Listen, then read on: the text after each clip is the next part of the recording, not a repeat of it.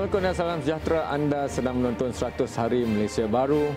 Dan tadi anda mendengar Yang Berhormat Menteri Pengangkutan Anthony Lok bercakap tentang beberapa perkara antaranya tentang RTS di antara uh, Johor dan juga Singapura. Kemudiannya Go KL saya sendiri menaikinya untuk ke kerja dan pulang uh, kerja. Uh, pembelanjaannya sekarang barulah saya tahu 12 juta setahun ada 63 bas sehari ada 70 ribu penumpang, 60% adalah warga tempatan termasuk saya uh, dan 40% lagi. Tapi saya rasa kalau kita bahagikan ikut siang dan malam, biasanya yang saya naik malam tu saya lah seorang yang berbeza daripada orang lain. Uh, dan itu yang uniknya nanti saya nak bincangkan juga kalau sempat dengan tamu saya hari ini. Nanti saya kenalkan. Satu lagi adalah tentang e-hailing ataupun penggunaan aplikasi untuk mobility uh, seperti Grab berbanding dengan taksi yang sedia ada Ya, dan kita tahu Astro ini juga menunjukkan bahawa syarikat pengusaha taksi uh, bers- ramai berpadu tenaga untuk menyokong secara lantang dan terang uh, Pakatan Harapan sebelum uh, PRU 14 yang lalu. Kemudiannya kita juga melihat pada manifesto uh, Pakatan Harapan yang menjanjikan untuk suatu pas tanpa had terutamanya di Lembah Kelang untuk menaiki uh, pengangkutan awam yang akan diletakkan pada takat RM100 dan anda boleh naik seberapa banyak kali yang anda mahu. Dan itu masih lagi untuk bergantung keputusan kabinet. Bila nak dilaksanakan nanti kita akan keluarkan lagi dalam buletin-buletin seterusnya. Tapi saya dah curi sedikit masa daripada tamu saya pada hari ini. Dan ini tamu yang hebat. Uh, beliau pakar ekonomi tapi juga terror ataupun pandai sains politik sebagai kedoktorannya. Dan banyak kali membentangkan pelbagai perkara kepada kita sebelum pun menyertai kerajaan. Dan kini selepas uh, era Malaysia baru selepas 10 hari bulan Mei Dr. Ong Kiam Meng YB Dr. Ong Kiam Meng terima kasih uh, sekarang saya harus panggil pegawai khas uh, uh, Menteri Kewangan kepada ya Menteri ya, Kewangan kepada Menteri Kewangan uh, tanpa bayaran tanpa itu saya akan tanya hujung sekali Uh, kalau PKR kita ada suara seperti uh, Rafizi yang mempertikaikan uh, keputusan-keputusan uh, takat ini hmm. oleh uh, Tuan Dr. Masir dan Kabinet tapi di DAP ini wakilnya langsung tak bersungut menentang dan sebagainya ada yang mengatakan pada saya begitu disiplin tapi itu soal kemudian di hujung soal yang paling utama saya nak keluarkan kerana YB uh, sentiasa memberikan kami angka daripada dulu sampai sekarang. Uh, sebelum masuk kerajaan dengan selepas pun masih lagi bercakap tentang angka. Jadi kadang-kala bila media siarkan secara langsung uh, sidang media saudara Lim Goh Eng hmm banyak nombor. Hmm. Kadang-kadang orang Malaysia ni sebab itulah matematik kita kadang-kadang kelulusan tu rendah berbanding pelajaran lain. Lepas kali ketiga aja nombor yang berbeza, kita tak boleh nampak dah. Hmm. Jadi mungkin ada yang perlu kita bantu Betul. untuk melihat yang lebih teliti. Uh, jadi saya nak tanya saja terus tentang keadaan hutang kerajaan Malaysia ini sebenarnya. Hmm. Kerana uh, kerana ini demokrasi era baru ya. Uh, the climate of fear ramai pemimpin Pakatan Harapan katakan sudah tiada dan dijamin tidak akan ada dan suara daripada kerajaan terdahulu seperti pemimpin-pemimpin Barisan Nasional sudah pun mula keluar hmm. mengatakan eh itulah yang sebenarnya 600 lebih bilion tu je yang 50% uh, pada GDP KDNK itu saja hmm. jadi saya beri peluang sebagai pegawai khas kepada Menteri Kewangan hmm. untuk memberikan kami gambaran daripada dalam hmm. pemahaman tentang di mana sebenarnya takat hutang kita ini dan jika ia 1.087 trilion ringgit Malaysia itu hmm. seteruk mana itu ataupun sebaik manakah itu YB okay, terima kasih atas jemputan ni saya nak menggunakan peluang ni untuk menjelaskan saya rasa isu yang penting ya. iaitu hutang negara lebih daripada uh, 1 trilion hmm. dan saya nak menggunakan okey saya saya nak menggunakan penjelasan saya untuk uh, Pertama sekali untuk memberi satu gambaran yang lebih jelas kepada semua uh, rakyat Malaysia apa sebenarnya satu trilion ringgit ni dan dalam uh, part tu saya nak menjelaskan bagaimana kerajaan mampu untuk membayar hutang ini. Okay. Okay. Untuk isu yang pertama, uh, ya memang betul official government debt adalah lebih kurang uh, 700 uh, bilion ringgit okay. ataupun uh, 50% daripada okay. GDP tetapi ada garanti yang diberi oleh kerajaan untuk menanggung hutang yang dikelu- uh, ataupun bond yang dikeluarkan oleh syarikat-syarikat yang dipunyai oleh kerajaan. Ya. Saya beri satu contoh yang mungkin lebih Terus. senang untuk uh, ya. untuk orang ramai memahami. Uh-huh. Mungkin sekarang saya ataupun uh, saudara Kamarul ya. ada hutang uh, RM100 ataupun RM100 uh, 100 uh, 100 ringgit lah. Okay. Uh, buat lebih senang.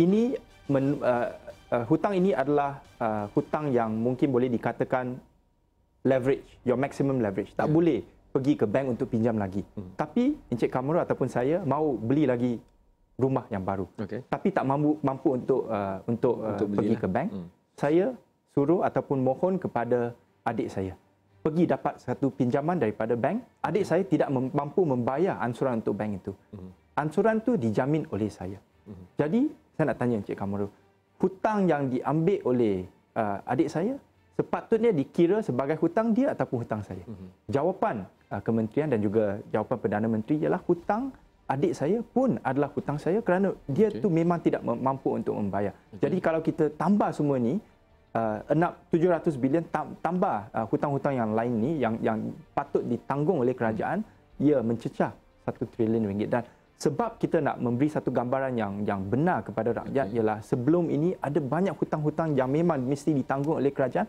tetapi maklumat ni tidak diberikan kepada rakyat okay. secara jelas. Adik saya ambil wang untuk saya dari uh, pada bank. Betul. Dan bila dia tak mampu bayar, saya penjamin, jadi bank akan tuntut dengan saya lah. Betul. Ramai orang pun di Malaysia pernah mengalami ini, mereka jamin orang, mereka kena bayar. Ya.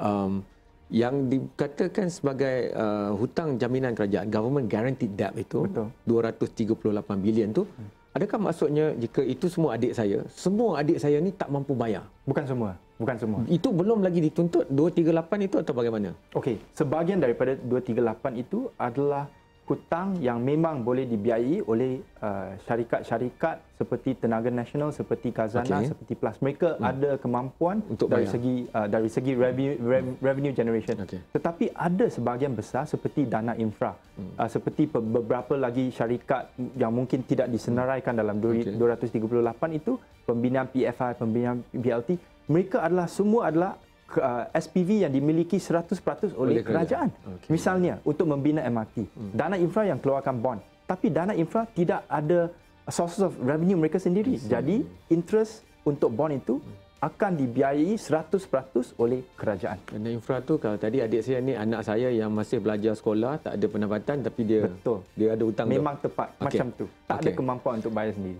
Maafkan saya. Saya dulu ambil sekejap aja kertas-kertas akaun dengan uh, finance ni uh, kewangan ni tapi 1MDB, satu MDB ini letak di bahagian mana? Okey, jaminan uh, kerajaan atau? Jaminan kerajaan. Kerana okay. sebelum ini uh, kerajaan kata oh 1MDB kita tak perlu uh, keluarkan duit untuk bayar hutang dia. Boleh okay. dapat dari dari uh, dari uh, sumber-sumber yang lain. Tetapi apabila uh, kerajaan baru mengambil alih uh, dan kita nampak bahawa uh, mengikut akaun-akaun Kementerian Kewangan memang ada banyak hutang yang telah dibayar Uh, sejumlah 6.9 bilion ringgit yang telah dikeluarkan untuk membayari hutang 1NDB dan ada lagi tunggakan sebanyak 38 bilion ringgit. Hmm. Jadi semua ini dimasukkan ke dalam government guarantee yang yang Encik uh, Kamarul kata okay. tadi. Okey. Uh, itu jelas. Jadi ujahnya sekarang katalah kita semua bersetuju dengan pengkategorian itu, okay. klasifikasi itu. Hmm. Uh, semua saya nak tambah satu lagi jenis klasifikasi. Hmm off book and on book. Ya. Uh, apa kepentingannya apabila pasukan kerajaan harapan uh, Pakatan Harapan ini masuk ke Kementerian Kewangan hmm. melihat dengan pasti kerana dah panggil pegawai-pegawai kerajaan tertinggi yang bertanggungjawab betul. melihat sendiri dulu hanya congak dari luar hmm. itu yang Dr. Ong Kiam buat pun ya, betul. tapi kini boleh tampak dengan jelas apa kepentingannya dulunya diletakkan di luar buku itu off book hmm. dengan sekarang kalau kita masukkan on book sini hmm. daripada aspek kepada ketulusan urus takbir dan good governance urus takbir yang baik. Hmm. Saya, saya rasa off off book itu uh, yang sebenarnya uh, bayaran setiap tahun itu mesti ditanggung oleh kerajaan uh, ada sebab yang baik supaya off book ni sebahagian daripada off book ni dimasukkan ke dalam hmm. on book official government debt. Hmm. Ini memerlukan uh, ke, uh, keputusan kabinet untuk meluluskan hmm. dan pada masa yang sama kita ada satu uh, debt to government debt debt debt to GDP ratio okay. iaitu 55%, 55%. itu juga uh, patut di, di dikaji semula supaya uh, maximum limit tu had tu boleh dinaikkan tetapi saya rasa penjelasan yang yang menyeluruh mesti diberi supaya pasaran supaya investor supaya uh, semua orang yang nak melabur dalam Malaysia boleh mendapatkan kepastian bahawa kerajaan Malaysia yang baru ni memang mampu untuk membiayai hutang off book dan juga on book. Saya tanya ini kerana ada yang melihatnya uh, yang tak mahir kewangan akan melihatnya sebagai uh, ini cara sistem yang kita pilih je. Hmm. Kalau kerajaan dulu pilih sistem A, maka dia letaklah di luar. Hmm. Kerajaan sekarang pilih sistem perkawanan macam ni, hmm. maka dia letak di dalam. Itu yang bezanya. Itu yang saya nak tanya soalan ni. Hmm. Kerana satu, okeylah, gaya perakawanan lah kalau kita letakkan itu. Tapi satu aspek lagi adalah, kalau ia di luar buku, ada tak implikasi pentadbiran atau undang-undang? Contohnya, kalau di luar buku, maka tak payah diberitahu kepada uh, pihak yang lain atau adakah begitu? Memang memang betul. Pandangan itu memang betul kerana apabila off book, perbelanjaan itu tidak payah dibawa ke parlimen langsung. Okay. Jadi apabila Perdana Menteri mengumumkan bahawa MRT Line 1, MRT Line 2, High Speed Rail, ECRL, semua ini mesti dibina uh, di bawah Kerajaan Barisan Nasional, bajet untuk projek mega ini satu sen pun tidak dimasukkan ke dalam bajet official dan di parlimen kita tak tak boleh uh, okay. bentangkan tentang isu ini. Okay. Uh, dan saya rasa ini memang penting kerana uh, menggunakan contoh yang yang diberikan tadi mungkin saya ada 2 3 4 5 anak. Yeah. Saya nak saya nak menggunakan setiap anak untuk meminjam duit yang okay. banyak. Okay. Jadi bank pun tidak tahu apakah tanggungan hutang saya yang sebenarnya. Uh-huh. Dan ini mem, uh, membenarkan saya untuk mendapatkan satu risiko yang lebih tinggi berbanding dengan dan mereka cuma nampak hutang saya tak nampak hutang anak-anak saya itu memang betul. itu kita fikirkan kita bagi ke rehat yang pertama kerana apa pun yang kita debatkan tentang kewangan negara credibility itu penting kerana kita negara yang terbuka untuk berdagang dan orang melihat kepada kekukuhan kewangan kita dan untuk betul. berdagang. Jadi itu saya nak tanya lepas ni kena ada yang kata lepas perkataan harapan pegang hu, semua turun. Uh, bursa saham ini bangunan bursa ya. Bursa saham indeksnya turun um, kewangan uh, tukaran wang ada kukuh ada naik macam tak pasti dan sebagainya. Itu saya nak tanya orang paling hebat. Dia ambil kewangan dan ekonomi di Cambridge tau. Lepas ni kita jumpa lagi dan kita tanya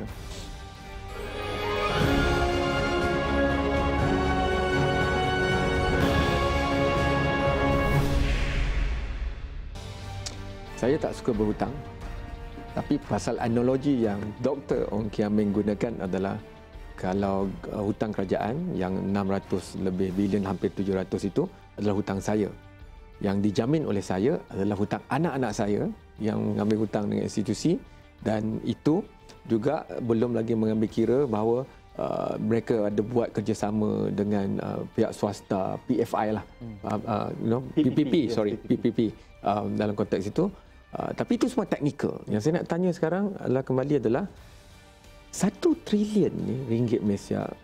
Maaflah orang macam saya ni kami tak pernah pun bercakap tentang satu trilion di Malaysia.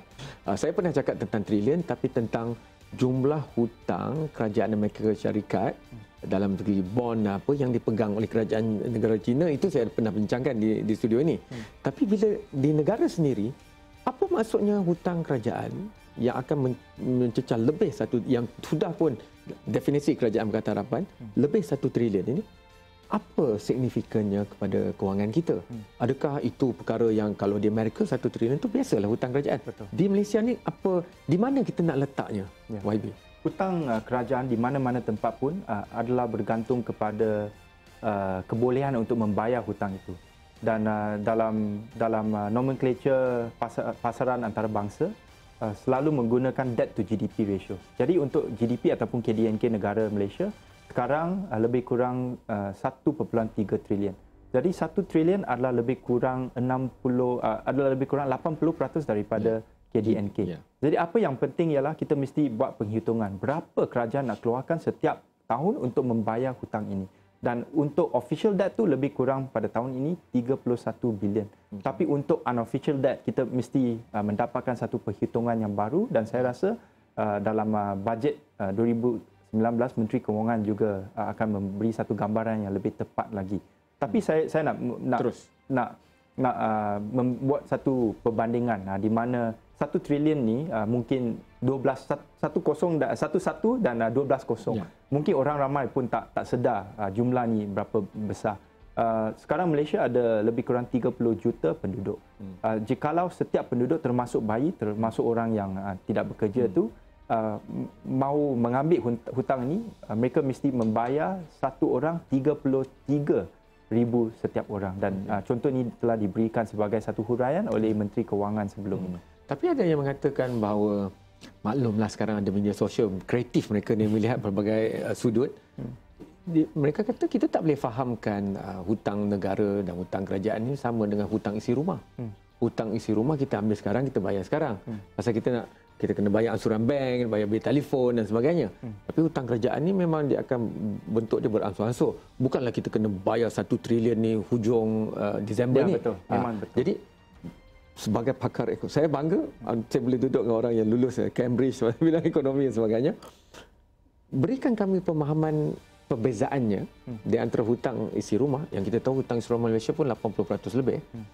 dengan bahaya hutang kerajaan ini yang mencecah 80% lebih uh, KDNK ini. Hmm. Apa bezanya dan apa kaitannya? Okey.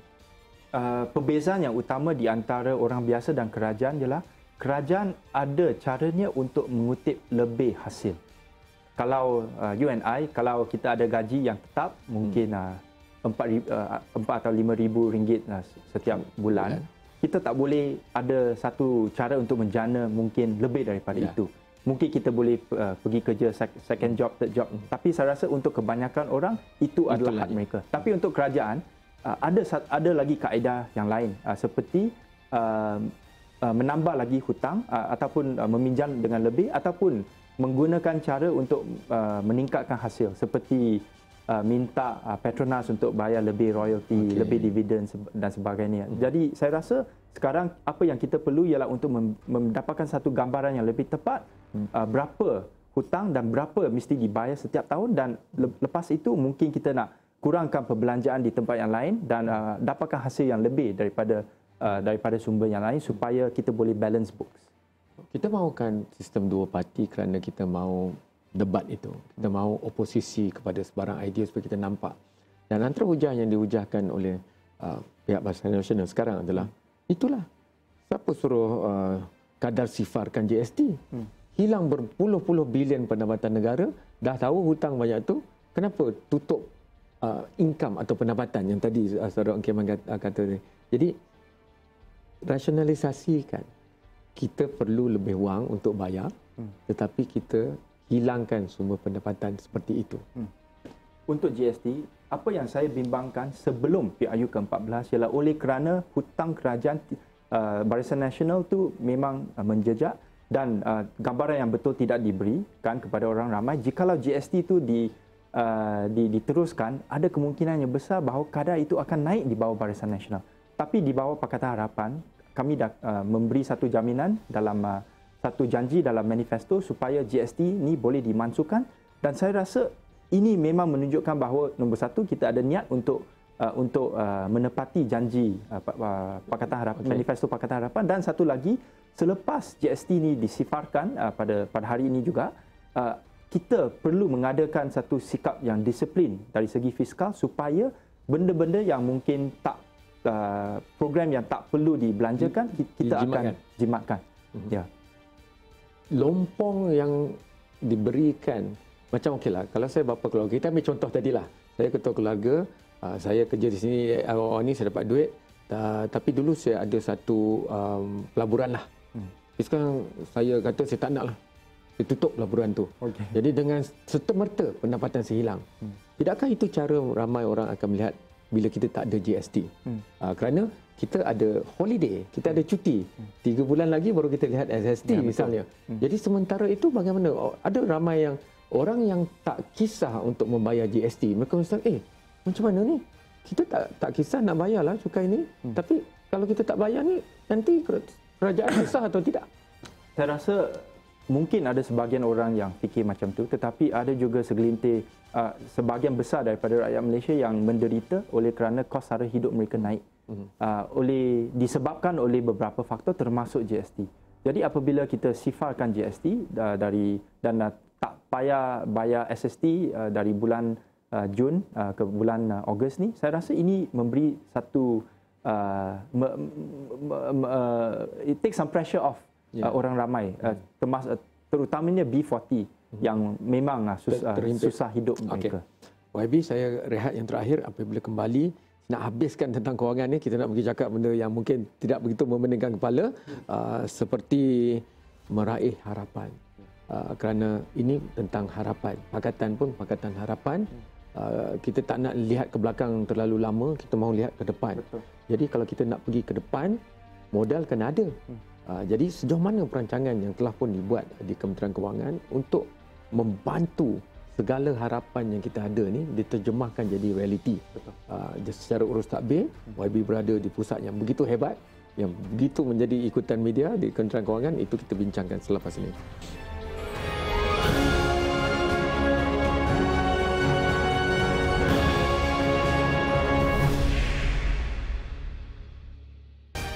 Anda masih menonton 100 Hari Malaysia Baru. Tak pernah cukup masa di sini. Masih bersama Wabi Dr. Ong Kiam Ming. Saya ingin habiskan sikit tentang hutang negara dan sebagainya. Tabung harapan. Di garis masa Twitter saya pun kata baguslah. Nanti boleh beli Tim Milo banyak-banyak sebagainya. Uh, untuk anda yang kreatif tentang Tim Milo ni, saya sarankan pergi uh, ke garis masa rakan Dr. Ong Kiam Meng iaitu YB Steven Sim. Ya. Beliau telah memberikan satu penjelasan panjang lebar di atas saya pun tak sempat baca habis lagi. Tapi sedap analogi kerana beliau baca hikayat hantuah. Hmm. Cuma dengan uh, YB Dr. Ong Kiam Meng saya nak tanya. Hari pertama 7 juta lebih. Hmm. Hari ini hari kedua ya. dan Kementerian Kewangan janji setiap pukul 3 dia akan keluarkan jumlahnya. Jumlah pukul 3 hari ini adalah 18 juta 608 925.36 maknanya 18.6 juta. Itu pertambahan 11 juta daripada semalam. Kutipan lebih banyak hari ini. Uh, cuba ceritakan inspirasi di sebalik tabung harapan ini. Tak per, saya rasa tak pernah. Kali waktu saya kecil saya ingat kita pernah kutip wang untuk tengok Piala Dunia, untuk RTM. Uh, itu pun ada teleton dan sebagainya. Tetapi ini kali pertama saya rasa MOF mengendali mengurus tak habis satu tabung untuk yang dijamin oleh menteri sendiri. Ya semua yang diberikan ini akan hanya digunakan untuk membantu beban hutang negara. Betul. Jadi ceritakan pandangan daripada dalam. Sebenarnya uh, tabung idea tabung ini bukan bukan uh, cuma datang dari pihak ahli politik. Ini idea ini dicetuskan oleh orang ramai. Selepas uh, tu Dr Mahathir Perdana Menteri mengumumkan bahawa hutang negara telah mencecah 1 trilion, dengan dengan sukarela. Hmm. Ada ramai orang kata, okey saya nak derma RM100, saya nak derma RM50. Dan selepas itu kita dapat banyak request menubuhkan satu tabung supaya kita boleh uh, ada satu cara secara formal, secara rasmi untuk membantu mengurangkan uh, beban hutang yeah. negara itu. Dan selepas itu uh, pihak kementerian juga telah memberi satu kertas kerja, satu nota kepada kabinet uh, untuk mencadangkan idea ini dan saya rasa Perdana Menteri dengan uh, uh, dengan uh, timbang cara beliau telah uh, memberi uh, kelulusan untuk mendap- untuk memulakan tabung ini dan dan saya rasa ini adalah penting kerana kita tidak tidak nak uh, tak mau nak beri satu gambaran yang tidak tetap di mana kita ya. kata okey tabung hmm. ini di, diperlukan oleh kerana hutang itu terlalu banyak. Ya. Saya rasa ini adalah satu uh, satu satu galakan daripada orang ramai supaya mereka boleh melibatkan diri dalam membina Malaysia yang baru. Dan ia tentang masyarakat peduli tentang negara. Saya rasa Betul. itu yang saya nak terjemahkan apa yang saudara Ling Hoi Eng katakan. Ya. Saya rasa tak cukup masa tinggal seminit setengah saya nak tanya soalan ini pada saya nak tanya banyak, saya nak tanya Serdang, saya nak tanya Bangi. YB kena kembali ya, di celah-celah kesibukan jadi pegawai khas Menteri Kewangan itu. Tapi saya nak tanya soalan ini dan ini untuk natijah semua. Macam saya cakap tadi di awal, uh, PKR kan, bagus, saudara Rafizi kritikal, seorang pendebat yang baik. Uh, tetapi beliau menjadi satu pandangan alternatif, mengkritik uh, gabungan Kerajaan Pakatan Harapan, hmm. apa yang diputuskan oleh Majlis Presiden, oleh Yang Buat Menteri. Hmm. Tetapi DAP, saya tak dengar seorang pun. Semuanya begitu seolah-olah macam diam, buat kerja, hasilkan keputusan. Malah dua orang yang paling kanan lah dari pada aspek strategi seperti uh, YB dan seorang lagi hmm, rakan YB yang hebat itu. Okey, kami membantu negara, kami kerja dengan uh, Menteri Kewangan tak payah bayar. Jadi di mana datang pendekatan yang sebegini? Seolah-olah macam sudah pun menjangka PRU14 perusahaan bini macam begitu bersedia untuk mengendalikan satu era baru ini. Uh, saya rasa persediaan saya dan juga uh, rakan saya Rabi Tony Pua datang dari uh, untuk dia dua penggal berdebat dalam uh, dalam parlimen dan juga mengeluarkan kenyataan media yang banyak. Saya pun uh, telah membuat kajian yang terperinci terhadap bajet dan juga isu kewangan di negara. Jadi apabila diberikan satu peluang ini untuk untuk membantu menteri, uh, ini adalah sesuatu yang kami memang uh, menyanjungi dan ini adalah satu peluang yang terbaik sekali untuk kita bina negara bantu negara juga dan uh, kami uh, kami saya dan Tony Puan memang tak ada masa untuk buat hal yang lain. Ya. Apa yang penting ialah untuk buat kerja uh, dan untuk membantu menteri kerana cabaran tu memang uh, banyak. Ini kan. bukan arahan WIM atau sebagainya ini adalah hasil sekian lama memang telah pun buat kerja dan kini cuma sambung sebagai kerajaan. Betul. Okey. Nanti datang ceritakan lagi. Itu saja masa yang ada. tak pernah cukup. Kita perlu bebaskan YB untuk membantu Kementerian Kewangan menyelesaikan masalah-masalah yang ada. Kerana kita tak mahu MOF hanya melihat pada masalah. Kita juga mahu mereka bercakap tentang melonjak negara ke depan. Adakah dana kita akan digunakan secara seinovatif dan kreatif mungkin. Bagaimana dengan blockchain dan sebagainya untuk revolusi penyelesaian keempat. Saya nak tanya tak cukup masa? Datang balik janji ya Wabi? Itu saja masa yang ada. Wabi dah kata boleh insyaAllah kita akan uh, telusuri lagi. Nanti malam ini juga akan ada ulangan dan sebagainya untuk program ini. Anda boleh terus ikuti 100 hari uh, Malaysia Baru 9.30 uh, jam 9.30 nanti. Saudara Husam Musa akan berada di sini bersama dengan saudara Nazri. Jumpa lagi. Thank you so much. Sorry, it's a bit far.